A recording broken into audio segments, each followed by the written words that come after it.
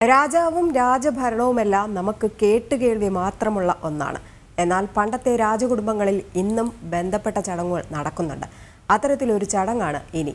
പാലക്കാട്ടുശ്ശേരി രാജകുടുംബത്തിലെ മുതിർന്ന അംഗത്തെ വലിയ രാജാവായി അരിയിട്ട് വാഴിച്ചു. മുപ്പത്തിരണ്ട് വർഷത്തിനു ശേഷമാണ് അരിയിട്ട് വാഴിച്ച കുടുംബത്തിൽ നടന്നത്. പാലക്കാട് കല്ലേക്കുളങ്ങര ഏമൂർ ഭഗവതി ക്ഷേത്രത്തിലെ ഹാളിലാണ് ചടങ്ങ് നടന്നത്. പുതിയ തലമുറയ്ക്ക് വായിച്ചു മാത്രം പരിചയമുള്ളതാണ് അരിയിട്ടു വായിച്ച ചടങ്ങ്. അകത്തേത്തറ ആസ്ഥാനമായ പാലക്കാട്ടുശ്ശേരി രാജവംശത്തിലെ പുതിയ രാജാവായി ശേഖരി വർമ്മ കോണിക്കലിടം ചാത്തുവച്ചനാണ് അരിയിട്ടു വാണത്. എന്നെ തെരഞ്ഞെടുത്തത് ഞാൻ വളരെ സന്തോഷം അനുഭവിക്കുന്നുണ്ട്.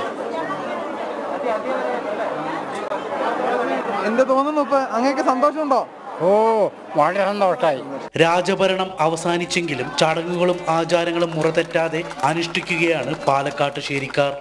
മുപ്പത്തിരണ്ട് വർഷങ്ങൾക്ക് ശേഷമാണ് ഒരു അരിയിട്ട് വായിച്ച പാലക്കാട് രാജസ്വരൂപത്തിന്റെ കുലദേവതയായ ഹേമാംബികയുടെ ക്ഷേത്രാങ്കണത്തിൽ നടക്കുന്നത്.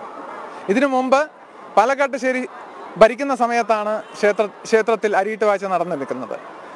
എച്ച് ആൻഡ് സി എടുത്തതിന് ശേഷം ഏറ്റെടുത്തതിന് ശേഷം ഇത് ആദ്യമായിട്ടാണ് അരിയിട്ട് വാഴ്ച നടക്കുന്നത്.